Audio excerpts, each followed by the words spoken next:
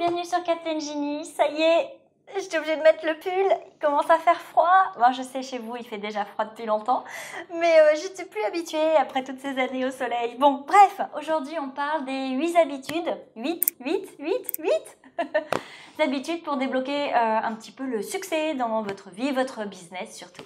On y va? Allez, c'est parti en fait, les entrepreneurs qui réussissent, hein, qui réussissent, ça veut bien dire qu'ils vont euh, là où ils souhaitent aller, qu'ils atteignent leurs objectifs ou qui ont tout simplement une rentabilité, eh bien, on constate qu'ils ont quand même des habitudes et des attitudes similaires.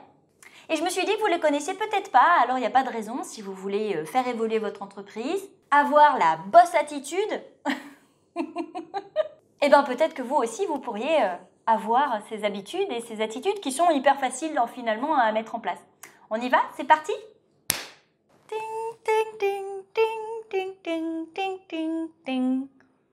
alors c'est quoi ces caractéristiques assez tangibles qu'on peut mettre en place pour atteindre le succès de l'entrepreneuriat? Alors le numéro 1, c'est sa capacité à rester concentré. En fait, pour être productif, vous devez tout simplement être capable de finir des tâches dans un laps de temps défini. Et donc, se concentrer sur vos objectifs, en tout cas ceux que vous voulez atteindre, eh bien, ça va favoriser forcément d'atteindre le succès que vous vous êtes créé. Parce que sans concentration, vous risquez de vous éparpiller et vous ne pourrez absolument pas vous concentrer sur vos objectifs à long terme, sur vos plans d'action, etc. Alors point numéro 2, ça va avec, bah, il faut savoir bien gérer son temps. On a tous entendu la phrase euh, le temps c'est de l'argent. Eh bien, prenez cette phrase à cœur. Vraiment.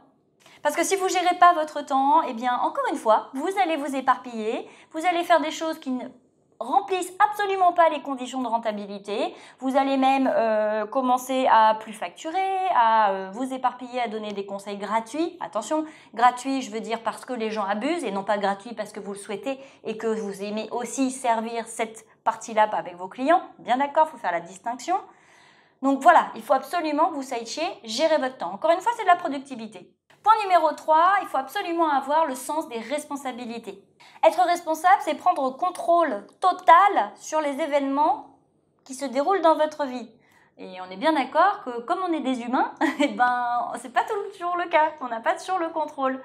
Mais qu'est-ce que je veux dire par là? Parce que bien sûr, on ne peut pas toujours avoir le contrôle. Par contre, si on anticipe, si on planifie, eh bien, ça nous permet que lorsque nous arrivons devant une situation qu'on ne peut plus contrôler, déjà, un, de ne pas se démoraliser parce que ça ne fonctionne pas comme on veut, mais aussi de savoir réorienter pour finalement atteindre ses objectifs. C'est vos actions à vous qui influencent votre vie. C'est ça en fait être responsable. Il ne faut pas se plaindre parce que ça fonctionne pas, parce que déjà c'est pas constructif, ça va pas forcément aller mieux si vous vous plaignez. Et deuxièmement, il ne faut pas rejeter la faute sur quelqu'un d'autre pour vos échecs. Si vous avez des échecs, c'est très bien, on apprend de ces échecs, mais vous êtes tout simplement seul responsable de ceux-ci. En fait, les gens qui gagnent, c'est ceux qui décident ce qu'ils veulent faire de leur entreprise. Clairement. Ils ne laissent pas la société ou les autres dicter ce qu'ils devraient faire. Point numéro 4, euh, se réveiller un peu plus tôt que la moyenne des gens. Je sais que souvent on tire la tête quand je dis ça. Euh, et puis en plus, moi qui n'aime pas les routines, je vous dis qu'il faut se lever tôt, c'est pas très... Hein ça va pas ça Mais réellement, si vous vous levez plus tôt, incroyable, votre productivité va changer incroyablement fort. En vrai, c'est pas tout à fait une histoire d'horaire. Je vais pas vous dire, faut se lever à 5h30 parce que si tu vous vous levez à 6h30, ça va pas le faire. Pas du tout. En fait, quand je vous dis de vous lever plus tôt que les autres, c'est simplement que vous devez commencer votre travail directement. On passe pas son temps à commencer à éplucher les réseaux sociaux, regarder si les posts de la veille ont fait des likes ou ce genre de choses, euh, ou si on a reçu des emails, pas du tout. Vous travaillez directement sur les choses sur lesquelles vous devez avoir le plus de concentration, le plus de réflexion, les obligations, c'est les choses qui vont vraiment avoir une légitimité par rapport à vos objectifs. En gros, tout ce qui vous demande, aucune distraction. Et après, vous pouvez attaquer vos emails et attaquer tout ce qui est euh, relation avec vos clients, etc. Donc c'est en ça que je parle de avant les autres. Parfois, ce que je fais quand j'ai vraiment du batching à faire, euh, plein d'emails à écrire, euh, mais de contenu, pas des emails de mes clients, ou des articles, ou ces vidéos-là, ce genre de choses, je me lève, je bois à peine un thé, parce que j'aime pas le café, bref, et là, j'y vais. Pendant une heure ou deux, je fais du contenu, je suis en pyjama. parfois, il fait même encore nuit, parce qu'en fait, je me suis réveillée à 5 heures, j'étais à peu près plus trop fatiguée, je me suis levée, paf, j'ai fait ça pendant deux heures. Et après, au bout de deux heures, j'arrête. Et là, je vais prendre ma douche, je me prépare, je me fais un petit déj, parfois je ressors pour aller me balader. Voilà, quand je dis se lever plus tôt que les autres, c'est ça. On en vient donc au point numéro 5, avoir la capacité d'éviter les distractions.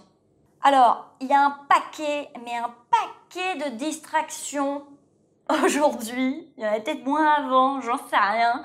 Mais alors, entre les réseaux sociaux, Netflix et puis toutes les autres mêmes plateformes du même genre, euh, je vais même pas faire la liste. Il y a les jeux vidéo, les, bouquins, les, il y a plein de trucs, plein plein de choses, plein de choses. Sans compter les distractions que vous vous imposez à vous-même parce que vous avez une idée, vous voulez commencer ça. Sans compter le multitâche que vous faites qui en fait est tout simplement de la distraction parce qu'en faisant du multitâche, vous ne vous concentrez pas sur un seul sujet et vous vous éparpillez, etc.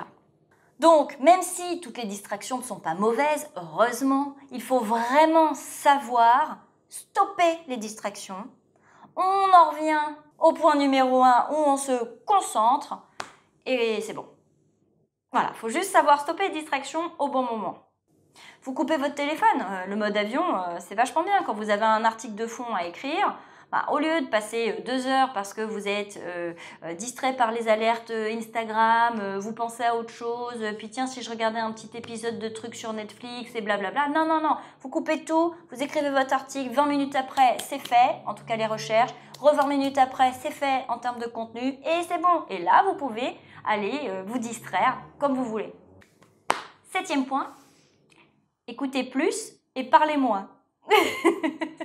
et je sais qu'il y en a certains qui vont voir cette vidéo et qui vont se marrer quand ils vont entendre que moi, je dis ce, septième point. Oui, parce que je sais beaucoup écouter, mais qu'est-ce que je suis bavarde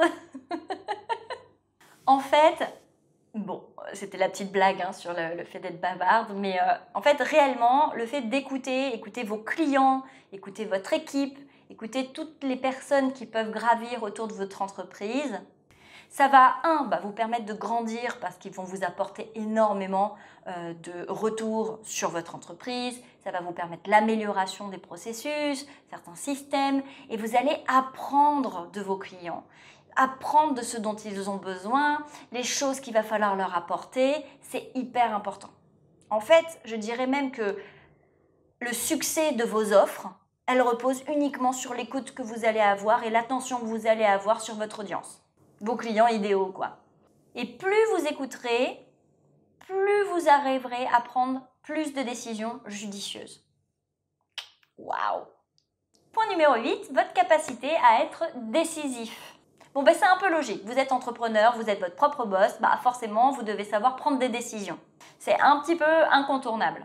Et qu'elle soit petite ou grande, ça va de toute façon affecter la façon dont votre entreprise évolue. Et comme votre entreprise c'est votre bébé, bah, ça va affecter la façon dont vous vivez. Donc voilà, 8 points, c'est beaucoup, c'est pas beaucoup. Je suis persuadée qu'il existe euh, une quantité monstrueuse d'autres choses à faire pour avoir justement ce succès. Attention, hein, petit bémol, on sait bien, hein, le succès c'est celui que vous accordez. Je le répète à chaque vidéo, donc je pense que maintenant vous avez compris. Ça veut pas dire que vous devez absolument faire tous ces points, ça veut pas dire que vous ne pouvez pas en ajouter. Voilà, libre à vous. Mettez-moi dans les commentaires s'il y a déjà des points que vous faites pour euh, garantir le succès de votre entreprise, ça pourrait être sympa. Notez-moi aussi tous ceux que vous faites que je n'aurais pas énoncés, ça pourra déjà me donner des idées. Et puis ben, merci d'avoir regardé cette vidéo jusqu'au bout. On like, on s'abonne, je sais jamais de quel côté c'est, mais ouais, on s'abonne et je vous dis à samedi prochain. Des bisous, bye bye